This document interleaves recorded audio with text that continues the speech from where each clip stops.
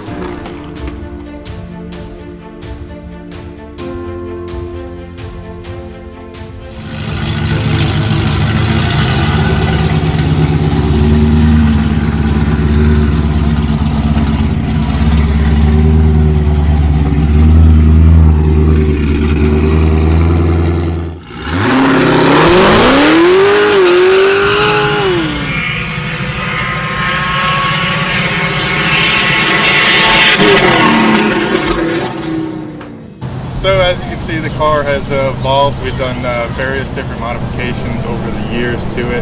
Um, as it sits right now, the car is making right around 850 wheel horsepower. Uh, my best quarter mile at the moment is uh, 996 at 138. Uh, best half mile is 168. I think we'll do a lot better with uh, better track conditions.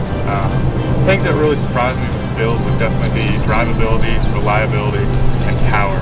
Guys at Vengeance Racing here really car really know what they're doing. Um, but we're just getting started, so keep an eye out for us out there.